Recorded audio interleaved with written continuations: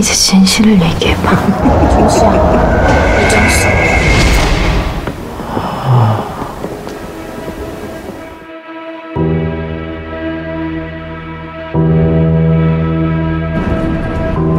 이종수,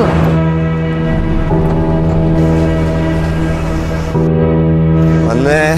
여긴 나의 하나뿐인 친구 이종수. 벤이라고 합니다. 혹시 무슨 일 하시는지 물어봐도 돼요? 간단히 말하면 그냥 노는 거예요.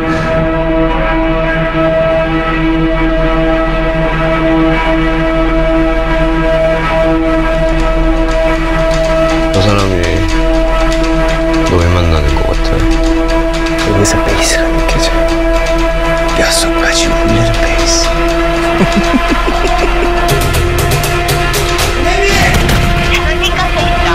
혹시 혜미하고 연락되세요?